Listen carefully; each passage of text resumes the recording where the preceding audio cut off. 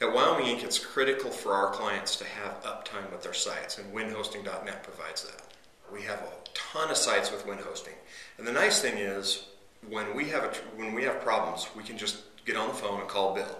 It's not like talking with GoDaddy where you're in the queue for 30 minutes.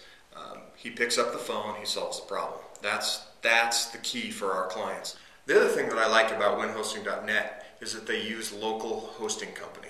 Windhosting.net resells servers that are located in Laramie. I love Wyoming, and that's what our company is all about. So the fact that Bill uses a company from Wyoming makes all the difference. So I'm Sandy Bath mm-hmm. from Intuitive Solutions and Bath Racing Kennel. Mm-hmm. Bill Hastings has been in our lives, thank God, for so many years now that I mm-hmm. can't remember exactly how many, but he has been the forefront person that we go to with wind hosting, not only to host our sites, but he's there to help me when it, I have questions with our WordPress because we do our, our websites through WordPress. And so um, He's always been there for us, no matter what part of the country's in, too. That's always a, what part of the world he's in, because he was over in another country not too long ago.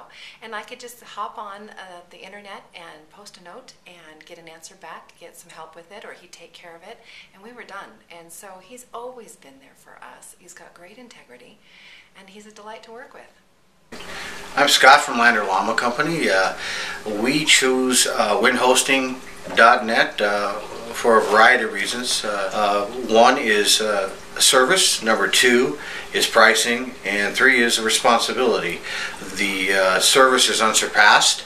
Uh, we've been with windhosting.net for quite some time and uh, they are very responsive to any kind of problems that you might have. Uh, and the turnaround time is very quick.